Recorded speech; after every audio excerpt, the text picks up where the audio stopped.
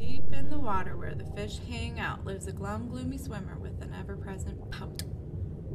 I'm a pout pout fish with a pout pout face. So I spread the dreary wearies all over the place. Blob, blob, blob.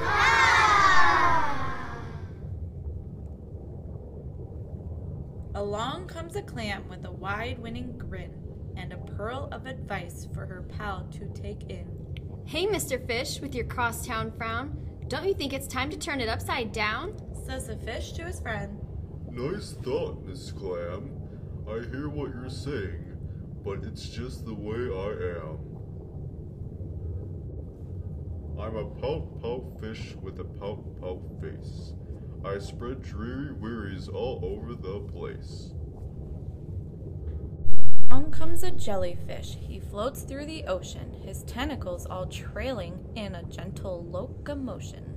Hey, Mr. Fish, with your daily scaly scowl, I wish you wouldn't greet us with a grimace and a growl. Says the fish to his friend. Mr. Jelly, I agree. I'd like to be more friendly, but it isn't up to me.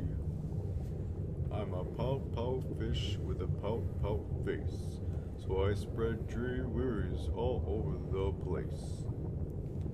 Blow, blow, blow. Along comes a squid, quite a slender, squiggly sight. She is squirmy, she is squelchy, she is slightly impolite. Hey, Mr. Fish, you kaleidoscope of mope. How about a smile? Little joy, little hope. Says the fish to his friend. Mrs. Squid, I would try, but I haven't any choice. Take a look and you'll see why. I'm a pout pout fish with a pout pout face. I spread wearies all over the place. Blub, blub, blub. Along comes an octopus with eight great charms, covered on the underside with tiny sucker charms.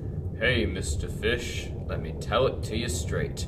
Your hulky bulky sulkin is an unattractive trait. Says the fish to his friend. Mr. Eight, my chum, with a mouth like mine, I am destined to be glum. I'm a pout pout fish with a pout pout face. I spread dreary wearies all over the place. Blub, blub, blub.